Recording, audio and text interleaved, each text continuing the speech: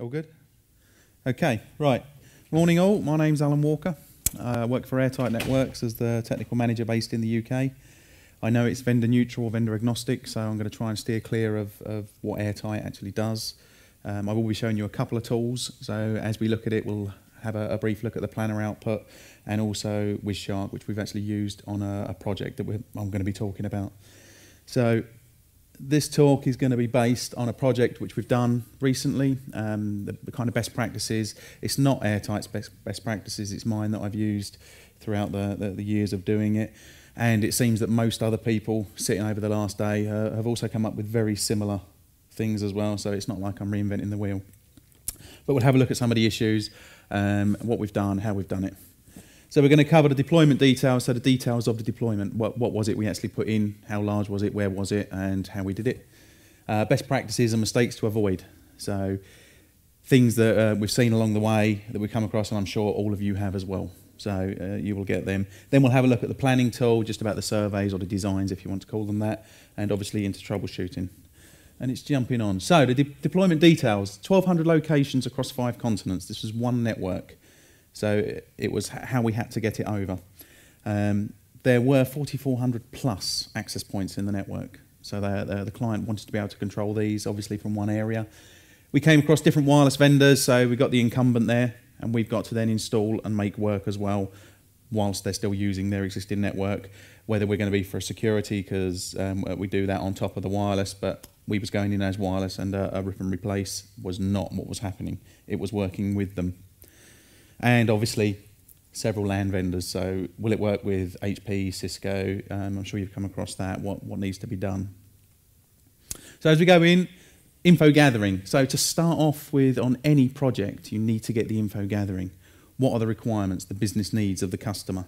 So again, this comes down to the surveys of uh, the information you send out to get back before you go down to site. So you've got the, the business requirements of who needs it, where they actually need it in their building, what they need. Do they want voice quality or do they want data? The last thing you want to do is start deploying for a voice network throughout if they're not actually going to use it. They're going to do hand scanners in a warehouse. Are you actually going to want voice there? Um, I'm sure sales will say, yes, let's put voice there, but you know, you don't actually need it. So you have to take that into account. So profiling, um, as we've got here, categorize the profiles and build the SLAs for that. So this is all, all at the beginning on the info. So where do you need it? What do you need? What you're going to be putting across it, what applications are you using. Are you going to be using sensitive, uh, lag-sensitive applications, uh, 50 milliseconds? You know, it's, uh, if, if you're going to roam, is it going to handle it? Is it going to break? Is it one of those good old databases? Is it going to cause you issues? So profile them and give them SLAs so that you can say, right, okay, so we need to make sure we have RSSI of neg 67, uh, latency of, of under 50 milliseconds if you're going to be doing it. On a greenfield site, um, as has been mentioned several times over the last day or so, it's yes, it could be greenfield, but if you're in a block, you could have a shop at the bottom or offices, and then you've got apartments at the top. So it might be totally empty, but is it empty above and below? So try and baseline what's there, because there's nothing worse than getting all this information, building your network, designing it, putting it in, and it doesn't work. And as they were saying yesterday with the, the beam that came in and hit the corner of the building, nobody knew it was a new building. They put it in, but they didn't check it before it went in. So that goes on to the mistakes, ignoring the needs of the business. So, okay, so you design a network, you put it in laptops. We're going to do data. I mean, I used to work for a company uh, a few years back that we would do surveys for data and we would do separate ones if it was voice or mobile devices. Obviously, now everybody is mobile, but if you ignore the needs of what they're going to be doing, try and find out, speak to the business units. What are you going to be doing in a year, in two years? Because hopefully they're not going to be replacing the equipment but don't ignore them, listen to them, and then design the network accordingly. Make sure that that is in place. And the good old fashioned new hardware will not solve all your issues. Don't just buy AC because it's available.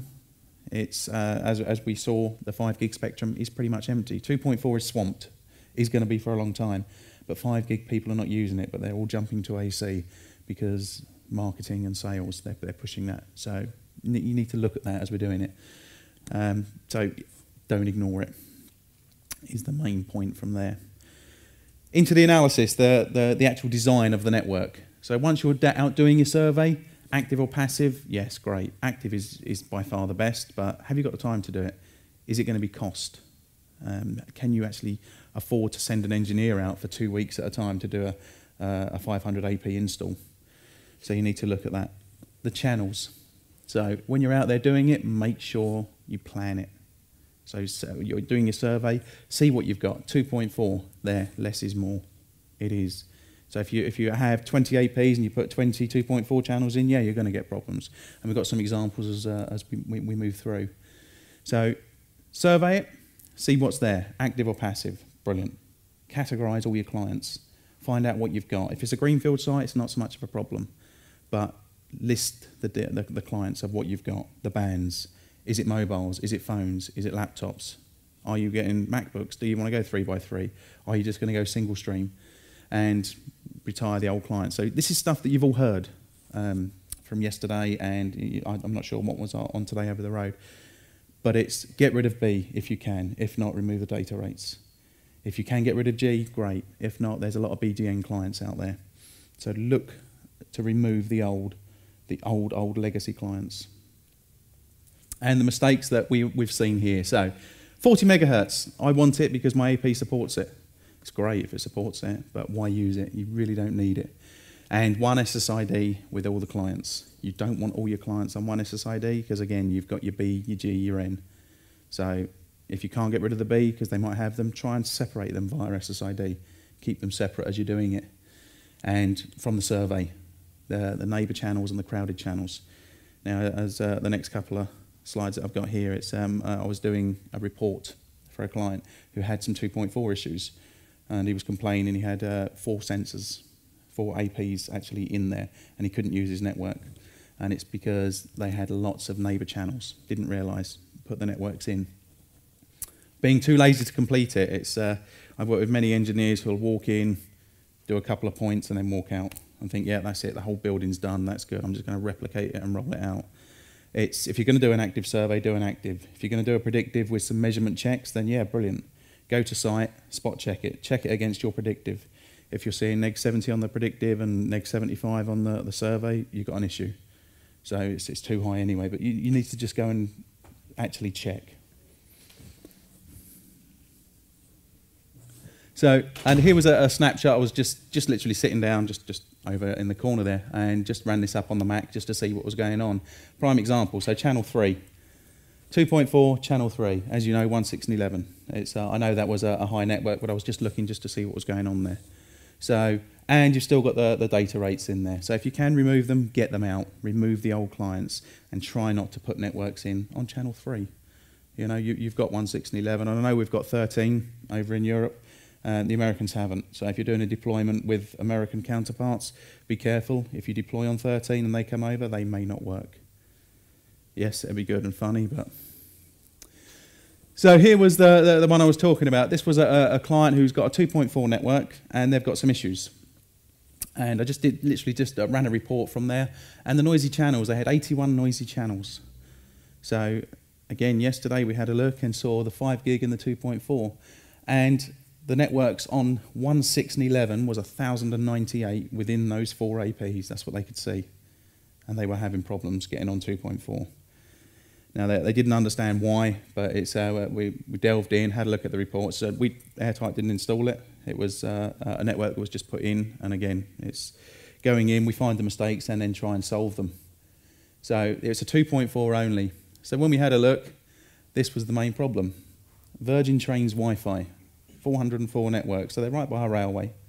So every time a train goes past, they've got Wi-Fi on, it's interfering with theirs. It's, it was a very strong signal. But then the one thing that was funny was this one. There's no SSID, so apparently it wasn't a problem because it wasn't being broadcast. It's, you know, it's still in the air, it's just didn't have the name being broadcast, but they thought it wasn't an issue. So it's, it's just things, mistakes like this that we see. So try to avoid them and, and educate the people as you go through because you will get this.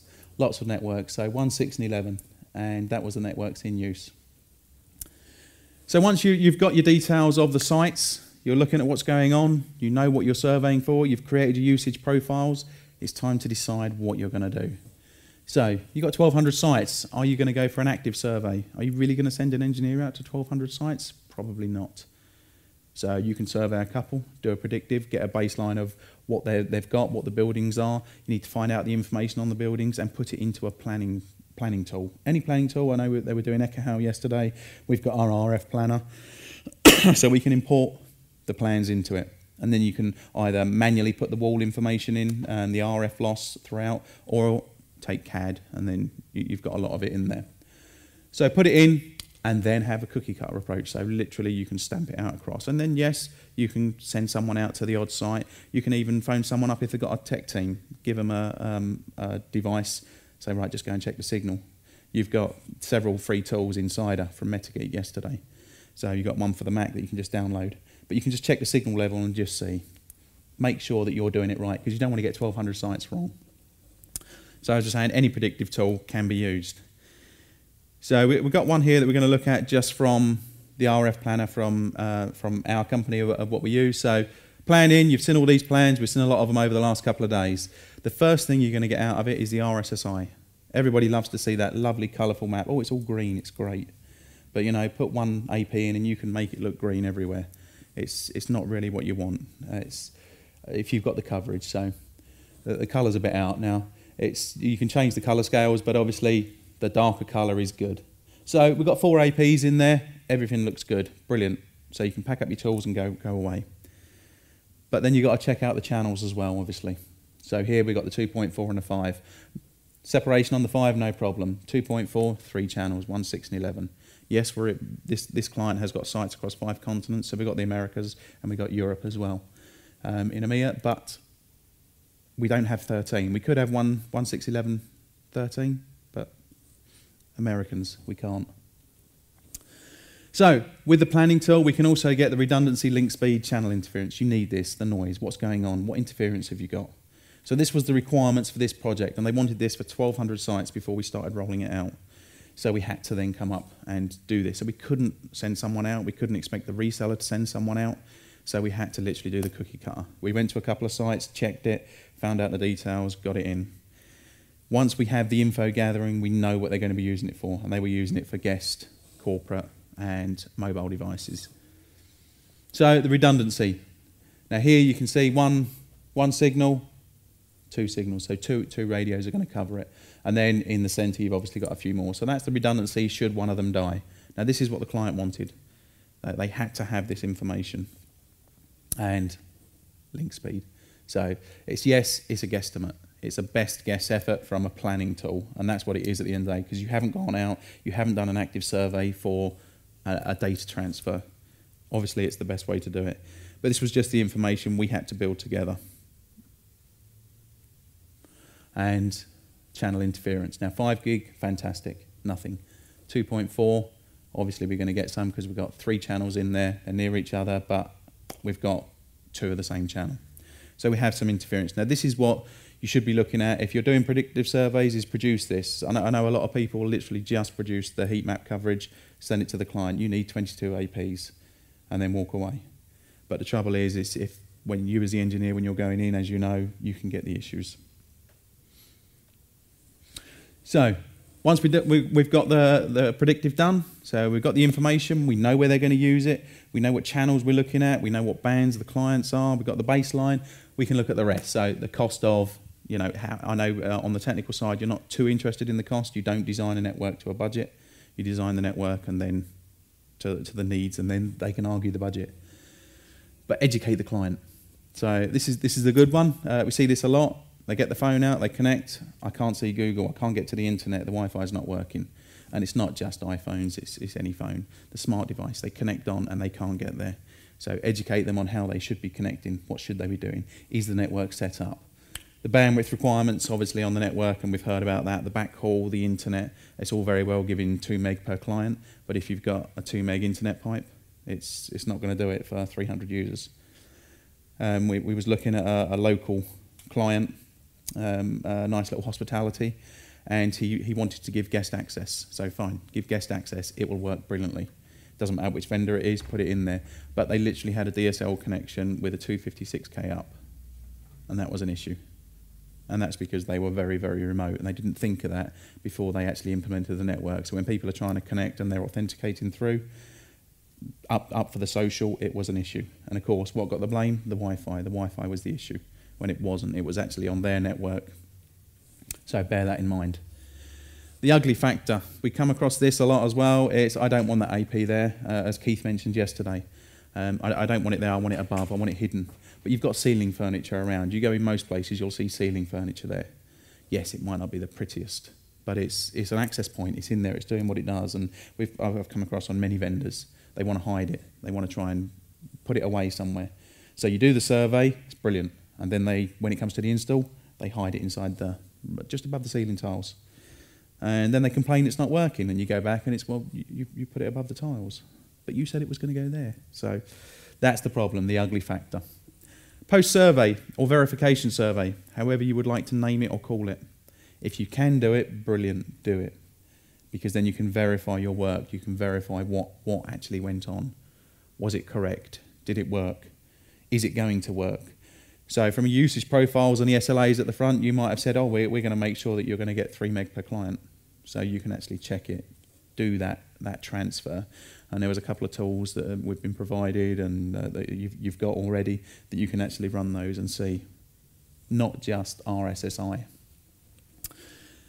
Mistakes, don't install an AP every 300 feet. It's the, the last presentation, uh, uh, he was talking about it. Apparently someone was putting an AP in and getting a compass and drawing a circle around it and saying, there's your coverage.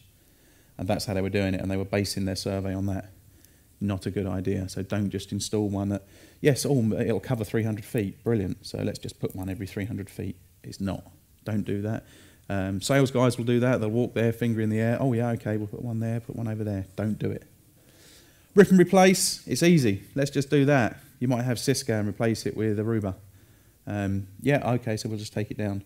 But not, not all APs are the same. I know they're very similar, but you're going to get some differences.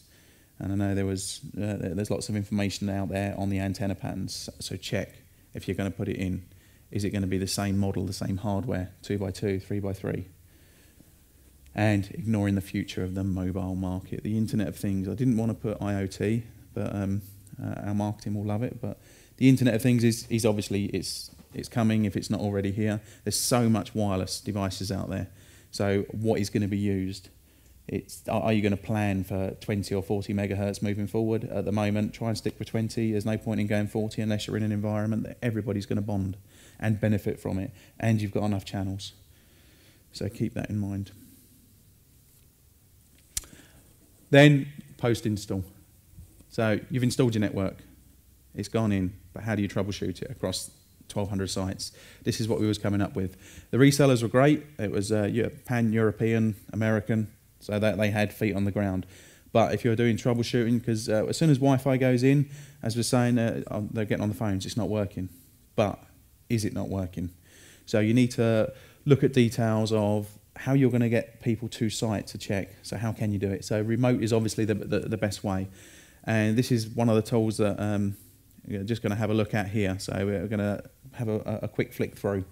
It's not uh, a vendor presentation, so but uh, I cannot connect to Google. Wi-Fi is not working again. So you know, it's always the it's the Wi-Fi went in. It must be the Wi-Fi's fault. So here we go. Device logging onto the Windows. I'm sure you've come across this, and we've actually got a, a workflow that we did looking at a client that was saying, well, I, I'm I'm not logging on. I'm using Windows. I'm authenticating, but I'm not getting on. So it's it's a Wi-Fi problem. So is it? Packet capture tools. It's you, you've all got them and you've also got one inbuilt on the Mac. So um, I don't know if you know that, but if you, if you don't, you can just literally go into the, the wireless, pick up the, the packet trace, run the packet trace on the network you're on. So you grab that, troubleshoot it, see what's happening, find out where that client is and connect. So if you've got someone on site that can do this, brilliant. If you've got some Macs on site with some friendly IT staff, use them. Try not to travel to you know six different countries in three days just to do it. I know some of you uh, probably do it regularly. So from the Mac, uh, I was running one, so you can just run a trace here, capture the information that's going through. And obviously, you, it comes out as a WCAP, but I just rename it to PCAP and then drag it into this tool. It does work. You don't have to open it up in Wireshark, otherwise there's no point in doing a capture on the Mac. But um, just literally, it can be dragged into our dashboard. for this tool. This tool is not just airtight, it works with any vendor. So it's, it's just in the cloud. It's handy for remote troubleshooting if you want to go to remote geographies and you don't want to travel there. So you can actually grab captures from anybody on site and import them in. It'll work with any tool as well. So uh, that's why I've tried to hide all the names on here. So once we drag that capture in, whatever it is, OmniPeek, uh, uh, from the Mac as well, so Wireshark, we can pull it in and then you'll be familiar with the, the, the sort of pages that you can see. So here you can then have a look for the client. So the client who's not connecting. So we can sort in there, get the disassociation frames and have a look. Find that client, click on it. Why is that client being disassociated? So find the client, select it, and then we can literally visualize the packet trace. So this isn't the packet trace for that client. This was just to show you on the left here. So um, we're, we're going to look at the packet trace for the client that's actually been disconnected. Why is it being disconnected when it's authenticating through AD? So on here, this is a, a, tool to visualize the packet. So you still need to understand how a packet works and how the packet communication works. It's not going to tell you that, but it gives you visual trends. So it'll, it'll enable you or someone very, very quickly to do it. So you can run the capture, and the good thing is you can share it off. So we was having the client as well as the partners in the sites do this. So they, they were running this tool. They were having a look at the captures, but then they were able to share it so they can actually share the link. So at the top right, you can share it. Send this link and make it available. So with that tick, you can send it to your support department, um, someone else. You can even send it through to Keith Parsons. He doesn't need access to this tool, but as soon as you email it out, you can then actually get on and have a look at the trace. And then they can see what you're seeing, what the client's seeing. So, and from the bottom, this is where we work up. So you, you get the details of the frame. So it's, it's trying to visualize. So you can click on this at any time and delve right into the actual packet trace and see the, the, the complete trace. So it'll visualize it. So that's just what the dot is. That's just where it's the, the, the data communication. So here was the trace of the client that wasn't connecting. So this is what we was trying to fix. And of course, it was the Wi-Fi's fault. They're, they're, they're fine. They plug in the Ethernet. It works. They go on the wireless. It doesn't work. So this is just to visualize it as we're coming through. So we've got two nice big red blocks there. That indicates a failure. So straight away, it's easy to visualize. So even the, the first line support staff of a client can see there's an issue.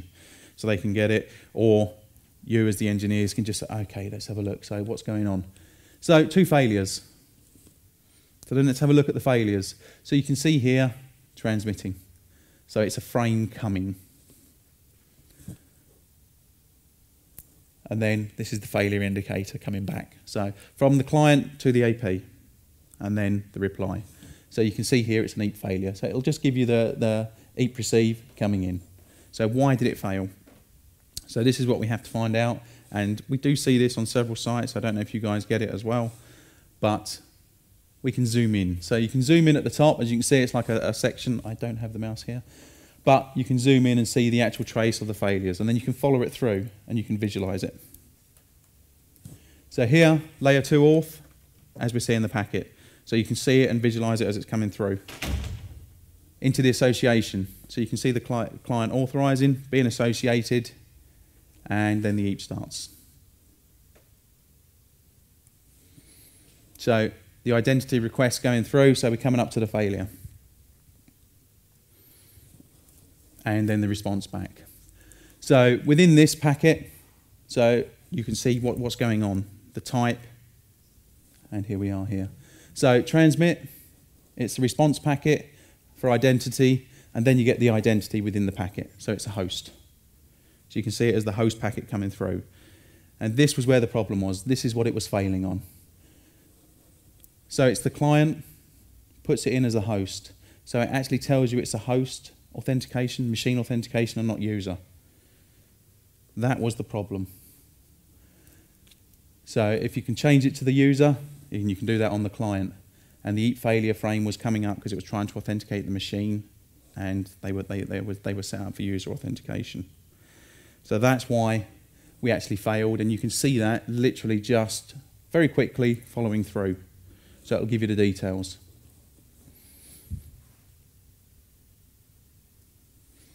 So the, the, the reason that particular client was failing was the authentication set on the client. So we had to change the client. Now this is a typical example of what we're seeing coming from clients. Um, you're going out there, installing the network, you've got the network in there, you've planned it, you've put your 2.4 and your 5 gigahertz, and you know uh, you get the interference. So we use the, the, the to actually troubleshoot that, and it saves us going on site because 1,200 sites is a lot. So that's very, very quick way of looking uh, at what's going on. Now, I don't want to harp on too much about the surveys because I know we've, we've covered that on three or four different presentations. You're probably all bored of it. Unfortunately, it's uh, um, on the second day that that's you know you get stuck with me. So, is there any questions on anything? Are you all happy with? Yeah. So that is where I'm actually going to turn off then because it's uh, um, I, I, was told to keep it short as we started late, but it's it's basically my views on planning. Info gathering is important, so the key takeaways on that. Make sure you get the information. You cannot beat it. Get the information from the clients. Get the stakeholder input. Do not just send off a spreadsheet. You don't get any response back. Chase it up. Get that information because you're going to need it for the survey, whether that's predictive or active. If it's active, excellent, you're going to get accurate information. If it's predictive, do not ignore the fact of how the building is made up, the information that you're going to require to actually check that, because it's, it's just going to come back and bite you later on. I'm sure there's networks that you've done that, um, as you were learning, you know, yeah, yeah, I'll just uh, I'll cut corners and you know you make mistakes, but you learn from those mistakes, and hopefully you don't make them anymore. Moving on. Everybody's very quiet. No abuse. Thank you.